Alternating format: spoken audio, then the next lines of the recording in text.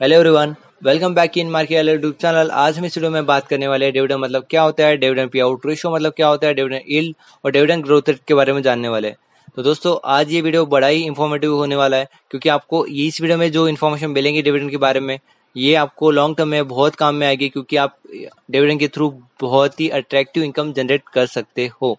तो सबसे पहले हमको जानना पड़ेगा कि डिविडेंड मतलब क्या होता है। डिविडेंड को हिंदी में कहा जाता है लाभांश। लाभ मतलब की प्रॉफिट एंड अंश मतलब की पार्ट तो प्रॉफिट का पार्ट मतलब डिविडेंड होता है। तो ये बड़ी ही अट्रैक्टिव इनकम होती है किसी भी इन्वेस्टर के लिए क्योंकि यहाँ पे टेन लाख रुपीज़ तक कोई भी टैक्स नहीं लगता है। तो ये टैक्स फ्री इनकम होती है टोटली तो सबसे पहले हमको डिविडेंड को जान, जानने के लिए हमको डिफरेंस जानना पड़ेगा मार्केट वैल्यू और शेयर मार्केट वैल्यू और फेस वैल्यू का। तो फेस वैल्यू किसी भी कंपनी की नॉमिनल वैल्यू होती है। जनरली ये कांस्टेंट होती है। तो फेस वैल्यू किसी भी कंपनी की मिनिमम वन रुपीज़ होती है और मैक्सिमम टेन रुपीज़ होती है। स्टॉक स्प्लिट बोनस के टाइम ये वैल्यू जनरली चेंज होती है और डिविडेंड परसेंटेज हम जब भी कैलकुलेट करते हैं तब हम मैक्सिमम टाइम फेस वैल्यू के मल्टीपल में कैलकुलेट करते हैं। अभी मार्केट वैल्यू को अगर अगर हम समझे तो last traded price in market stock market में लास्ट ट्रेडेड प्राइस जो होती है, उससे मार्केट वैल्यू कहा जाता है और शेयर प्राइस भी कहा जाता है। ये स्टॉक स्प्लिट बोनस के टाइम भी चेंज होती है। डिविडेंड इल को कैलकुलेट करने के लिए हम शेयर प्राइस का यूज़ करते हैं। तो डिविडेंड परसेंटेज अगर हमको कैलकुलेट करना है तो हम डिविडेंड पर share divide by face value multiply by one hundred तो हमको डिविडेंड परसेंटेज मिल जाएगा। वही अगर डिविडेंड इल्ड आपको कैलकुलेट करना है तो dividend per share divide by share price multiply by hundred तो आपको यहाँ पे डिविडेंड इल्ड पता चल जाएगा। अगर आपको नहीं पता है तो किसी भी कंपनी की डिविडेंड इल्ड जितनी ज़्यादा हो, उतना आपको फ़ायदा होता है। ठीक है? तो आपको डिविडेंड इल के बारे में जानना बहुत ही इंपॉर्टेंट होता है। तो सबसे पहले हम जानेंगे कि dividend pay out ratio dividend pay out ratio मतलब कि मान लेते हैं कि किसी कंपनी ने वन लाख रुपीज़ का प्रॉफिट किया है एंड उस कंपनी ने ट्वेंटी फाइव थाउज़ेंड रुपीज़ अपने इन्वेस्टर को एज ए डिविडेंड के बांट दिया है एंड उसमें से सेवेंटी फाइव थाउज़ेंड रुपीज़ उन्होंने कंपनी में यूज़ किया है। कंपनी के ग्रोथ के लिए यूज़ किया है। तो यहाँ पे डिविडेंड पे आउट रेशियो 25 परसेंट हो गया क्योंकि कंपनी ने अपने वन लाख रुपीज़ के प्रॉफिट में से 25 परसेंट पैसे डिविडेंड में बांट दिए। तो डिविडेंड रेशियो के बारे में अगर, अभी हम समझेंगे। डिविडेंड रेशियो फेस वैल्यू के मल्टीपल में कैलकुलेट करते हैं। जैसे मैंने कहा था इन्फोसिस और टीसीएस का हम यहाँ पे एग्ज़ाम्पल लेंगे। इनके अंदर, इन, इनके ऊपर से हम एग्ज़ाम्पल को समझेंगे। तो इन्फोसिस ने और टीसीएस ने on an average forty rupees का डिविडेंड दिया था 2019 में। तो इन्फोसिस की जो फेस वैल्यू है, वो फाइव रुपीज़ पर शेयर है एंड टीसीएस की जो फेस वैल्यू है, वो वन रुपीज़ पर शेयर है. तो डिविडेंड परसेंटेज कैलकुलेट करने के, करने का formula dividend per share divide by face value multiply by hundred तो इस फॉर्मूले से हम जानेंगे कि इन्फोसिस ने कितना परसेंट परसेंटेज में डिविडेंड दिया था. तो dividend percentage forty per share dividend मिला था इन्फोसिस का divide by five face value equal multiply by hundred dividend percentage अगर यहाँ पे अगर हम देखें तो डिविडेंड परसेंटेज हो जाता हो जाता है एट हंड्रेड परसेंट। वही टीसीएस ने डिविडेंड दिया था फोर्टी रुपीज़ का फेस वैल्यू उनकी वन रुपीज़ है, मल्टीप्लाई बाय हंड्रेड तो उनका डिविडेंड परसेंटेज हो गया फोर थाउज़ेंड परसेंट। अगर हम दोनों का डिविडेंड परसेंटेज कैलकुलेट करें तो इसमें डिविडेंड परसेंटेज टीसीएस का ज़्यादा है इन्फोसिस से। वही, अभी हम सेम एग्ज़ाम्पल से डिविडेंड ईल कैलकुलेट करेंगे। तो मैंने जैसे कहा था डिविडेंड ईल हम कैलकुलेट करते हैं शेयर प्राइस के मल्टीपल में। तो वही इन्फोसिस और टीसीएस का सेम एग्जांपल ले रहे हैं। यहाँ पे इन्होंने सेम डिविडेंड दिया है 2019 में forty rupees per share but यहाँ पे हमको शेयर प्राइस लेना पड़ेगा इनका। तो इन्फोसिस का शेयर प्राइस जो था seven hundred rupees per share था। सेवन हंड्रेड रुपीज़ था। एंड वही टीसीएस का जो शेयर प्राइस था, वो टू थाउज़ेंड रुपीज़ था।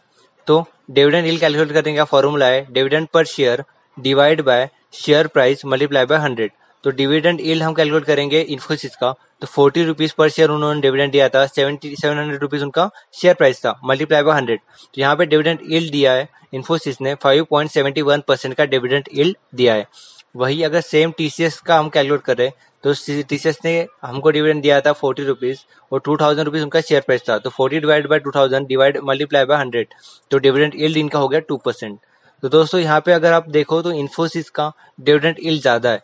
वही हमने डिविडेंड परसेंटेज में देखा था कि टीसीएस का डिविडेंड परसेंटेज ज़्यादा था।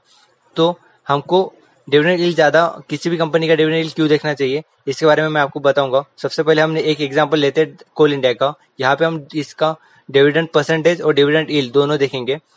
2019 में कोल इंडिया ने डिविडेंड दिया था twelve point five rupees per share का।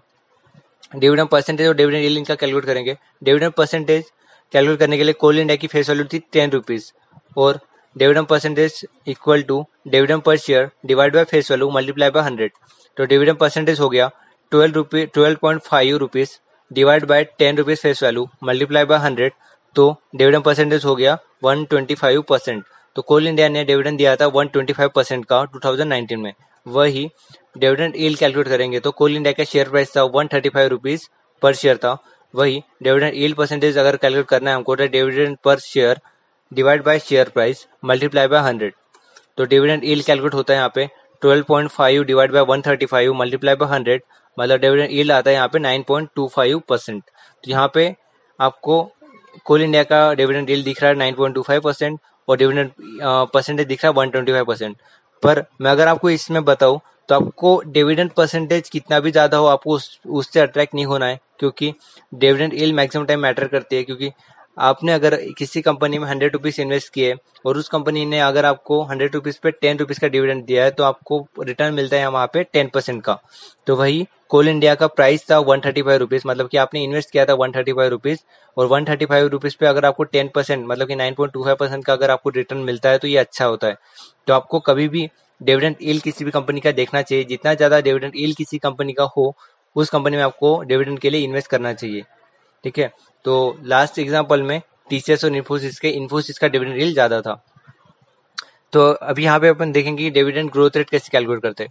डिविडेंड ग्रोथ रेट का फॉर्मूला है D Y minus D Y minus one divide by D Y minus one तो डी वाई मतलब होता है कि प्रेजेंट ईयर टोटल डिविडेंड और डी वाई माइनस वन मतलब होता है कि लास्ट ईयर टोटल डिविडेंड तो हमने यहाँ पे हिंदुस्तान यूनिलीवर का चार्ट लगाया है। 2014 में 2014 में डिविडेंड अमाउंट दिया था हिंदुस्तान यूनिलीवर ने 11.5 वहाँ से अगर आप कंटिन्यू देखोगे कि 2019 तक तो वहाँ पे हमेशा आपको नहीं किया डिविडेंड इल डिविडेंड परसेंटेज बढ़ते हुए डिविडेंड आपको बढ़ते हुए दिख रहा अमाउंट एलेवन फाइव दिया था 2014 में 2015 में दिया था 13.5 यू 2016 में दिया था 16.5 यू 2017 में दिया था 18 रुपीज़ 2018 में दिया था 21 रुपीज़ 2019 में दिया था 24 रुपीज़ पर शेयर तो डिविडेंड ग्रोथ रेट तो यहाँ पे अपन ग्रोथ रेट देख रहे हैं तो 2014 में ग्रोथ किया था उन्होंने 15 परसेंट का 2015 में uh, 15 में उन्होंने ग्रोथ किया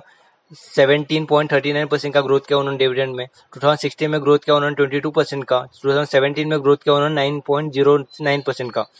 2018 में ग्रोथ किया उन्होंने 16.67 परसेंट का और 2019 में ग्रोथ किया उन्होंने 14.29 परसेंट का। मतलब कंसिस्टेंट बेसिस पे ये कुछ ना कुछ डिविडेंड में ग्रोथ कर रहे हैं। तो ये बड़ा ही अट्रैक्टिव होता है, क्योंकि आपको कभी भी ऐसे कंपनी इसमें इन्वेस्ट करना चाहिए जो कंपनी आपको हमेशा डिविडेंड बढ़ाती है ईयर ऑन ईयर यहाँ पे हम दुनिया के सबसे बड़े इन्वेस्टर वॉरेन बफेट के एग्ज़ाम्पल ले तो वॉरेन बफेट ने 2019 में 3.4 बिलियन डिविडेंड इनकम कमाई थी। 3.4 बिलियन डॉलर डिविडेंड इनकम कमाई थी। और वो कहते हैं कि आपको हमेशा उस कंपनी में इन्वेस्ट करना चाहिए जो कंपनी आप, आपको हमेशा हाइयर डिविडेंड देते रहे ईयर और ईयर ऑन ईयर बेसिस पे। तो डिविडेंड आपको कैसे मिलेगा? तो डिविडेंड कोई भी कंपनी डिक्लेयर करती है तो उस, उसको कहा जाता है डिविडेंड डिक्लेरेशन डेट तो उसके बाद में एक रिकॉर्ड डेट होती है। तो उस दोनों डेट के बीच में होता है वन मंथ का गैप तो डिविडेंड डेट ऑफ़ डिक्लेरेशन जो होते हैं उसके उसके बाद में अगर डेट ऑफ़ रिकॉर्ड के पहले अगर आपके पास शेयर्स होते हैं कंपनी के रिकॉर्ड डेट के पहले अगर आपके पास कंपनी के शेयर्स होते हैं तो आप डिविडेंड के लिए एलिजिबल हो जाते हो। फिर बाद में डिविडेंड पेमेंट पेमेंट का डेट होता है, वहाँ पे आपको डिविडेंड मिल जाता है। तो थैंक यू दोस्तों। आज हम इस वीडियो में इस, इतना ही बात करेंगे डिविडेंड के बारे में। हो सकता है कि ये इन्फॉर्मेशन आपके लिए बहुत ही ज़्यादा इंपॉर्टेंट हो सकती है। तो थैंक यू सो मच अगर आपको ये वीडियो अच्छा लगा तो लाइक कीजिए, शेयर कीजिए, कमेंट भी कीजिए। आपको नेक्स्ट कौन सा वीडियो चाहिए और सब्सक्राइब कीजिए हमारा चैनल। तो गुड बाय दोस्तों, थैंक यू सो मच।